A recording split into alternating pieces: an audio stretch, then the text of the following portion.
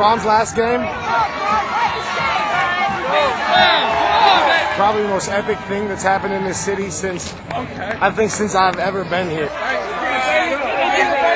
If you can't get excited about a hero, a hometown legend like Brian Brohm playing in his last game at Papa John's Cardinal Stadium, then you don't need to bother getting excited about anything because this is what sports are all about. Is nights like tonight.